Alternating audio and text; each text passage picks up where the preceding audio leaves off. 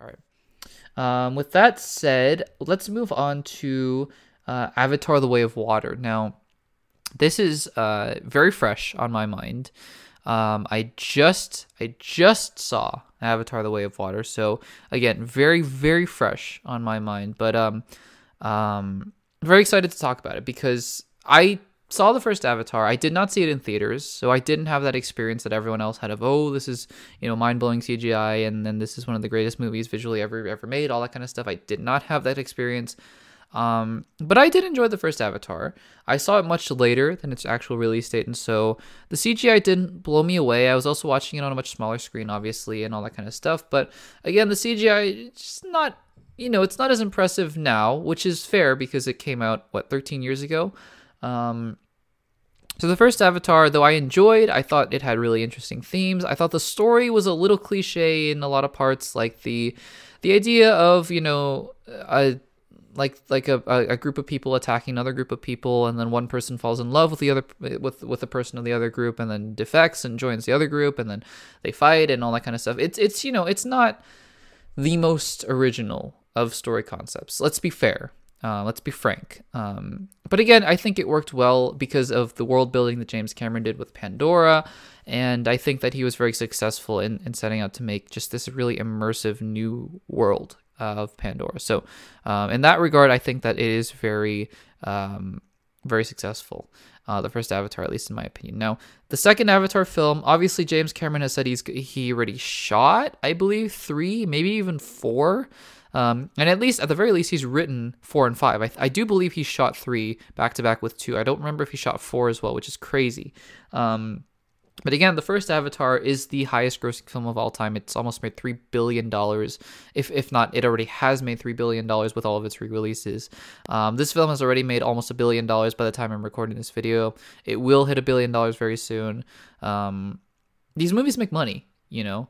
Um, these movies make money, but also these movies are expensive. And I, I, if I if I've heard correctly, the second Avatar movie cost $400 million to make. So, um, again, these movies make money, but they're also very expensive. And um, just cutting to the chase right away. This this first portion will be non spoiler, and then I'll talk about a couple spoiler things at the end uh, of this of this segment. But just talking about non spoiler first, um, you can tell where every single cent of that 400 million or whatever that number actually is, you can tell where it went because um, this film is gorgeous. This film is one of the best visual experiences that I've ever had in a theater um, if not the single best. And I I've seen Top Gun Maverick in the theaters a couple times. I saw 1917. You know, I saw whatever else there is to say. You know, of the past couple years of visual spectacle. But I mean, this is this is just leaps and bounds. I saw this film also in it wasn't IMAX, but it was it was like XD or something. It was it was one of the biggest theater screens I've ever I've ever seen,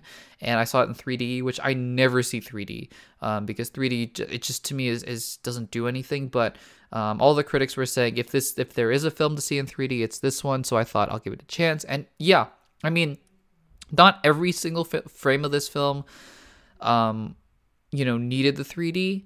Um, but again, I I think that it the 3D really popped a lot more, like like a lot more than it did in any other film. So I'm really glad that I I did get to see it in 3D as well. Um, again, the water sets are just incredible. They're beautiful to look at. The the the Na'vi, uh, I mean, compared to 2009 Avatar, uh, just look incredible. Um, there are still a couple scenes where I kind of went, yeah, it looks a little video gameish, but again, like for like the majority of this film, they look like real creatures, and that's crazy um, because there was a lot of them. It's it's almost all blue people in this movie, you know, and that's that's really a testament to to James Cameron and the visual teams working on this film. Um, and so I'm really happy about that.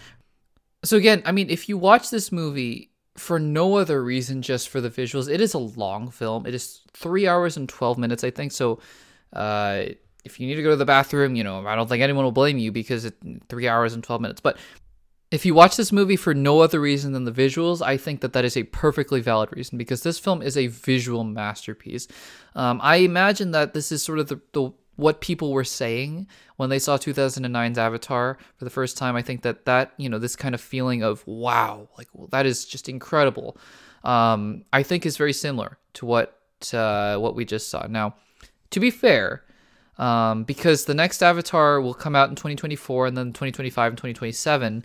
Um, you know, it's it's hard because I'm gonna transition now into not necessarily the negatives, although the more negative part of this review, but um, you know, 2009's Avatar and 2022's Avatar: The Way of Water obviously were 13 years apart, and uh, they had time to really perfect a lot of the visual things that they wanted to really go for here.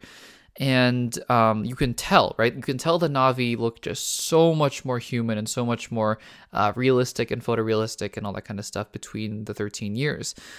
The problem is that now, because you film two and three back to back, and be, I'm going to assume, I, I could be wrong, but I, I'm 90% sure that I heard that. Anyways, uh, you're, because you're releasing these films so close together, um, I'm sure that Avatar 3's visuals are going to be incredible, and I'm sure that Avatar's 4's, 4's visuals are going to be incredible, but it's not going to be the same leap as from Avatar 1 and 2.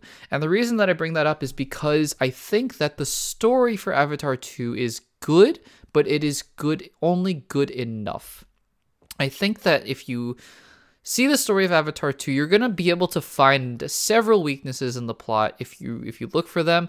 You're going to see some generic uh, tropes that are used in in the second Avatar film. Um, and you're and really the story and the characters are not the strongest part of Avatar 2. I think that some of the characters are very compelling and I think that there's there's an effort here to really develop some of the characters um, and their relationships. And I think that by the end of the film, you do care more about some of the characters that you you know you, you may not have may not have invested in before. Um, but again, it's not really what this film was trying to do. At least I think, because the film is really just a visual vessel, right? It's a, it's a vehicle for the visual effects. I think, and I know that Cameron, you know, probably wants to tell a really great story, and and I'm sure he does. But I think that the story is about as good as the first movies, and I think that the first movie story is good but again, it's it's just fun. It's a fun story that probably goes on for way too long. I think that you could have cut about 30 minutes off Avatar The Way of Water, but fine, you know, it's 3 hours and and 10 minutes and and if you want it to be that that long then fine. Um but again, I think that um you're not coming into Avatar 2 really for the characters or really for the story, uh, which are again good enough uh, good enough for the, the, the visual vessel that is Avatar: The Way of Water. Um, I think that obviously you have returning characters like Jake Sully and Neytiri. Um, aside from that, I don't want to spoil anything. I don't want to give anything away in case you haven't seen the trailers or anything like that, um, or or you just don't want to know. Um, but again, I think that I think Cameron has this idea that he's making some sort of groundbreaking story, and while he is making a groundbreaking film in many many uh, uh, in in many senses of that that phrase. I just don't see a lot of new in the characters that he's developing. I think that there are a lot of tropes that are used that are very tried and true. There's nothing wrong with that, by the way. Um, I'm just, you know, I'm left wondering that if you take the visuals aside, and for this film, the visuals were more than enough. But I'm, I'm thinking about Avatar 3, I'm thinking about Avatar 4, and I'm wondering, you know, take the visuals out what are you left with? And what you're left with, I think, in this film is just a just a good story that's very, very, very long, um, with some decent character development.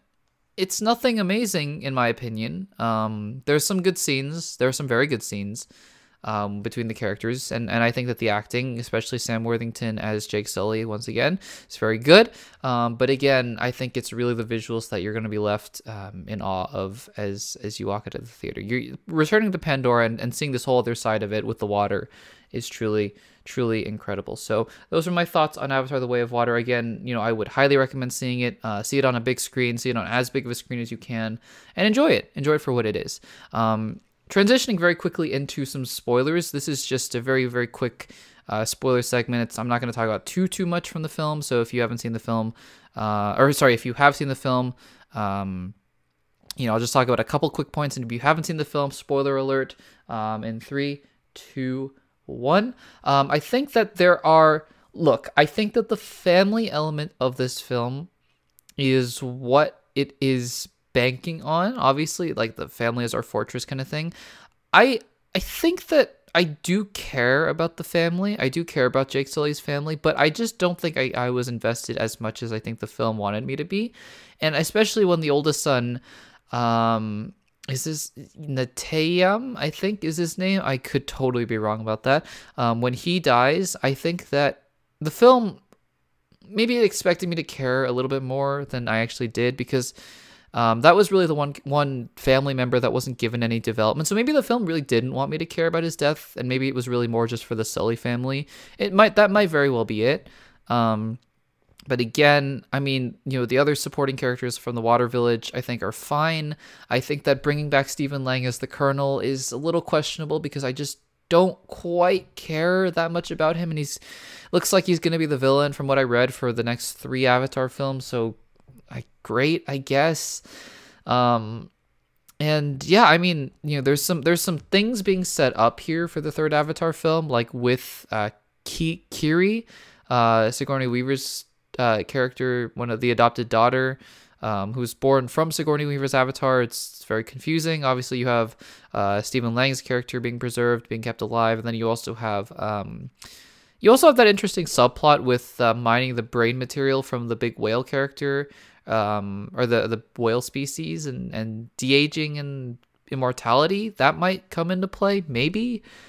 Again, there when when I'm looking at Avatar Avatar: The Way of Water, I, I'm I'm thinking about the visuals. I'm thinking about the experience. You know, I really, truthfully, I'd watch these films. I'd watch many more sequels just to see what James Cameron can do visually and push the boundaries. But I'm not really not going to watch these movies uh, expecting you know groundbreaking stories and things like that. I just I think that this is a class of film on its own, and I think that that's a good thing. Um, I'm not you know disparaging James Cameron in that way. I think that this is like high, one of the best theater experiences I've had in, in quite a while. Obviously, Top Gun Maverick notwithstanding. Um, and I think that it's well worth a watch. Um, I'm I'm excited for Avatar three. Not again, not because of the characters necessarily, just because I'm I know it's going to be an experience, and uh, I think that's what theaters are for. You know, um, so I'm very happy about that.